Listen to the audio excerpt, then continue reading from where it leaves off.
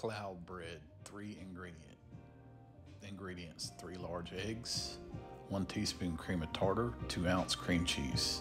Directions, preheat oven to 300, line a large baking sheet with parchment paper, separate egg whites from yolks into two medium glass bowls, add cream of tartar to egg whites, then using a hand mixer, beat until stiff peaks from two to three minutes. Add cream cheese to egg yolks, then using a hand mixer, mix yolks and cream cheese until combined. Gently fold egg yolk mixture into egg whites. Divide mixture into eight mounds on prepared baking sheet, spacing them four inches apart. Bake until golden, 25 30 minutes.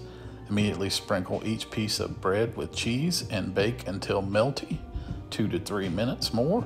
Let cool slightly. Enjoy.